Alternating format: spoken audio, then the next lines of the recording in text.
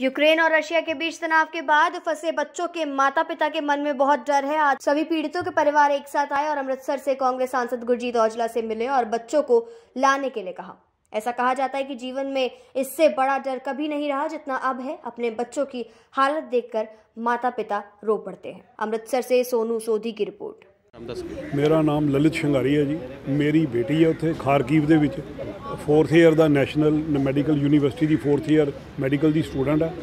ਉਹ under basement ਮਤਲਬ basement ਦੇ ਵਿੱਚ ਮੈਟਰੋ ਦੇ ਬੇਸਮੈਂਟ 'ਚ ਉਹ ਸਰਫਨੀਆ ਜਿਹੜਾ ਉਹਨਾਂ ਦਾ ਸਟੇਸ਼ਨ ਹੈ। ਉਹਦੇ ਬੇਸਮੈਂਟ ਦੇ ਵਿੱਚ ਪਿਛਲੇ 5 ਦਿਨਾਂ ਤੋਂ ਉਹ ਕਹਿੰਦੀ ਰਹਿ ਰਹੇ। ਤੇ ਕੋਈ ਸਾਧਨ ਨਹੀਂਗਾ ਕੋਈ ਕੁਝ ਹੈਗਾ। ਉਹਨਾਂ ਕੋਲ ਜੋ ਕੁਛ ਹੈਗਾ ਸੀ ਥੋੜੇ ਬਹੁਤੇ ਸਨੈਕਸ ਹੈਗੇ ਸੀ ਉਹ ਉਹਨਾਂ ਨੇ ਇਸਤੇਮਾਲ ਕਰ ਲਿਆ ਖਾ ਲਿਆ ਪਾਣੀ ਵੀ ਥੋੜਾ ਥੋੜਾ ਪੀ ਲੈਂਦੇ ਆ। ਪਾਣੀ ਦੀ ਵੀ ਕਮੀ ਹੈ ਖਾਣ ਪੀਣ ਦੀ ਵੀ ਕਮੀ ਹੈ। ਕਿਉਂਕਿ ਕੁਝ ਹੋ ਹੀ ਨਹੀਂ ਸਕਦਾ।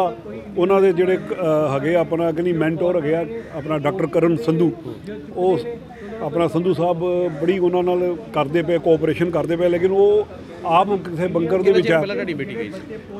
ਇਹ 4 ਸਾਲ ਹੋ ਗਏ। ਕੀ ਨਾਂ ਕੀ ਇਹਦਾ? ਟੀਨਾ। ਤੁਹਾਡੀ ਅਸੀਂ ਅੰਮ੍ਰਿਤਸਰ ਦੇ ਵਿੱਚ ਉਹ ਗੱਲਬਾਤ ਹੁੰਦੀ ਪਈ ਤੁਹਾਡੀ ਉਹਨਾਂ ਨਾਲ? ਮੇਰੀ ਗੱਲਬਾਤ ਹੁੰਦੀ ਪਈ ਹੈ ਵਿੱਚ ਵਿੱਚ ਹੁੰਦੀ ਪਈ ਗੱਲਬਾਤ। ਜਦੋਂ ਉਹਦਾ ਨੈਟ ਉਹ ਚੱਲਦਾ ਵਾ ਲਾਈਟ ਆਂਦੀ ਆ ਉਹ ਫਿਰ ਉਹਨੂੰ ਚਾਰਜ ਕਰਕੇ ਮੇਰੇ ਨਾਲ ਗੱਲ ਕਰਦੀ ਹੈ ਸਰ ਕਿਹਾ ਜਾ ਰਿਹਾ ਕਿ ਜਿੱਥੇ ਉਹਨਾਂ ਨੇ ਰੱਖਿਆ ਗਿਆ ਉੱਥੇ ਕਾਫੀ ਬੱਚੇ ਆ ਤੇ ਜਗ੍ਹਾ ਸਪੇਸ ਘੱਟ ਹੈ ਸਪੇਸ ਘੱਟ ਹੈ ਕਾਫੀ ਬੱਚੇ ਆ। ਉਹੀ ਮੈਂ ਕਹਿ ਰਿਹਾ ਕਿ ਉਹ ਬੇਸਮੈਂਟ ਵੀ ਹੁਣ ਜਿਹੜੀ ਹੈ ਕਿ ਨਹੀਂ ਉਹ ਗੰਦੀ ਹੁੰਦੀ ਪਈ ਆ।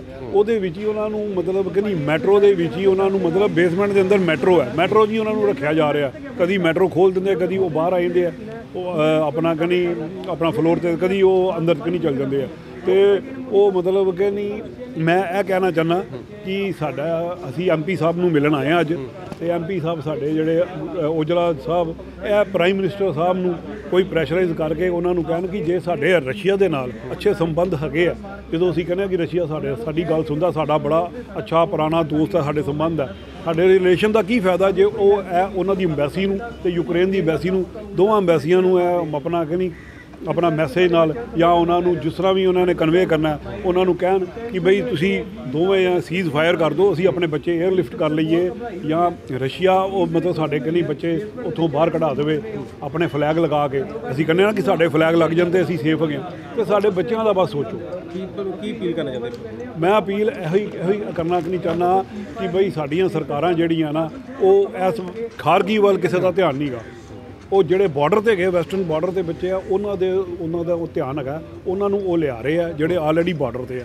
ਤੇ ਜਿਹੜੇ ਅੰਦਰ ਹੈਗੇ ਸਿਟੀ ਦੇ ਵਿੱਚ ਜਿਵੇਂ ਖਾਰਗੀ ਵਕੀਵ ਕੀ ਕਹਿਣਾ ਚਾਹੁੰਦੇ ਜਿਹੜੇ ਪਰਿਵਾਰ ਨੂੰ ਤੁਸੀਂ? ਅੱਜ ਅਸੀਂ ਜਿਹੜੇ ਯੂਕਰੇਨ ਦੇ ਵਿੱਚ ਸਾਡੇ ਵਿਦਿਆਰਥੀ ਫਸੇ ਨੇ ਜਾਂ ਜਿਹੜੇ ਦੂਸਰੇ ਵੀ ਲੋਕ ਫਸੇ ਨੇ ਖਾਸ ਕਰ ਵਿਦਿਆਰਥੀ ਨੇ ਜ਼ਿਆਦਾ ਪੰਜਾਬ ਦੇ ਔਰ ਅੰਮ੍ਰਿਤਸਰ ਦੇ। ਅੱਜ ਅੰਮ੍ਰਿਤਸਰ ਦੇ ਜਿੰਨੇ ਪਰਿਵਾਰ ਮੇਰੇ ਕੋਲ ਜਿਹੜੇ ਲਿਸਟਡ ਸੀ ਉਹਨਾਂ ਸਾਰਿਆਂ ਨੂੰ ਅੱਜ ਬੁਲਾ ਕੇ ਉਹਨਾਂ ਦੇ ਮਾਪੇ ਨੂੰ ਮਿਲਿਆ ਔਰ ਉਹਨਾਂ ਨੂੰ ਭਰੋਸਾ ਦਿੱਤਾ ਕਿ ਅਸੀਂ ਆਪਣੇ ਵੱਲੋਂ ਪੂਰੀ ਕੋਸ਼ਿਸ਼ ਕਰ ਰਹੇ ਹਾਂ। ਔਰ ਉੱਥੇ ਬਹਿ ਕੇ ਉਹਨਾਂ ਨਾਲ, ਉਹਨਾਂ ਤੋਂ ਵੀ ਵਿਚਾਰ ਲਏ ਕਿ ਤੁਸੀਂ ਕੀ ਚਾਹੁੰਦੇ ਅਸੀਂ ਜਿਹੜੀ ਹੈਲਪ ਕਰ ਸਕੀਏ?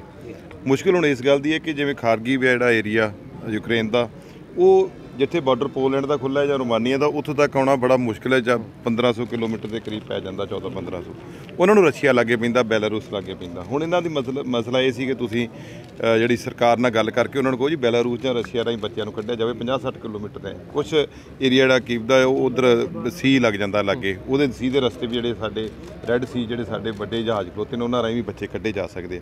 ਸੋ ਮੇਰਾ ਮਕਸਦ ਹੈ ਕਿ ਜਿਹੜੀ ਸਰਕਾਰ ਹੈ, ਉਹ ਗੈਰ ਜ਼ਿੰਮੇਵਾਰਾਨਾ ਜਿਹੜਾ ਰੋਲ ਅਦਾ ਕਰ ਰਹੀ ਹੈ, ਜੋ ਇਹਨਾਂ ਦੀ ਫੀਲਿੰਗ ਤੋਂ ਮਿਲੇ। ਮਿਲਿਆ ਕਿਉਂਕਿ ਜਿਹੜੇ ਐਮਬੈਸੀ ਦੇ ਵਿੱਚ ਆਰਡਰ ਕੋਈ ਦਿੰਦੇ ਨੇ ਰਾਤ ਨੂੰ ਇਹਨਾਂ ਕਹਿਤਾ ਜਿਵੇਂ ਕਿ ਤੁਸੀਂ ਚਲੇ ਜਾਓ ਸਟੇਸ਼ਨ ਨਾਲ ਨੂੰ ਚਲੇ ਜਾਓ ਜਾਂ ਨਿਕਲ ਜਾਓ।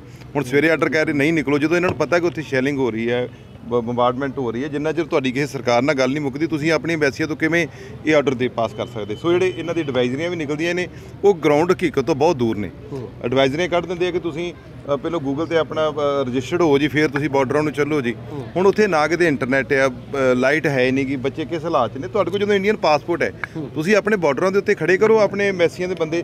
ਵੀ ਜਿਹਦੇ ਕੋਲ ਇੰਡੀਅਨ ਪਾਸਪੋਰਟ ਹੈ, ਤੁਸੀਂ ਰੈਕੋਗਨਾਈਜ਼ ਕਰੋ, ਉਹਨੂੰ ਚੈੱਕ ਕਰ ਲਓ ਇੱਕ ਸਾਈਡ ਤੇ ਬਿਠਾ ਕੇ। ਉਹਨਾਂ ਨੂੰ ਅੰਦਰ ਕਰੀ ਜਾਓ। ਹੁਣ ਪੋਲੈਂਡ ਦੇ ਬਾਰਡਰ ਦੇ ਉੱਤੇ ਜਿਹੜੇ ਆ, ਉਹ ਮੁਸ਼ਕਲਾਂ ਆਈਆਂ ਨੇ, ਕਿਉਂਕਿ ਤੂੰ, ਉਹਨਾਂ ਨੇ ਕੋਈ ਗੂਗਲ ਰਾਹੀਂ ਨਹੀਂ ਡਾਊਨਲੋਡ ਫਾਰਮ ਹੋ ਸਕੇ, ਨਹੀਂ ਰਜਿਸਟਰਡ ਹੋ ਸਕੇ, ਉਹਨਾਂ ਨੂੰ ਇਹ ਰਿਸੀਵ ਨਹੀਂ ਕਰ ਰਹੇ। ਇੱਥੇ ਬਹਿ ਕੇ ਐਡਵਾਈਜ਼ਰੀਆਂ ਜਾਰੀ ਕਰ ਦਿੰਦੇ। ਦੂਜਾ ਅੰਬੈਸੀਆਂ ਜਿਹੜੀਆਂ ਨੇ, ਉਹ ਰਾਸ਼ਨ ਪਾਣੀ ਵੀ ਨਹੀਂ ਪਹੁੰਚਾ ਰਹੀਆਂ। ਰਸਦ ਮੁੱਕੀ ਜਾ ਰਹੀ ਬੱਚਿਆਂ ਦੇ ਕੋਲ, ਬੱਚਿਆਂ ਦੇ ਪੇਰੈਂਟਸ ਜਿਹੜੇ ਉਹ ਬਹੁਤ ਮਤਲਬ ਘਬਰਾਏ ਹੋਏ ਆ। ਅਸੀਂ ਉਹਨਾਂ ਸਾਰਿਆਂ ਨੇ ਇਹੀ ਰਿਕੁਐਸਟ ਕਰ ਰਹੇ ਕਿ ਤੁਸੀਂ ਘਬਰਾਓ ਨਾ। ਅਸੀਂ ਆਪਣੇ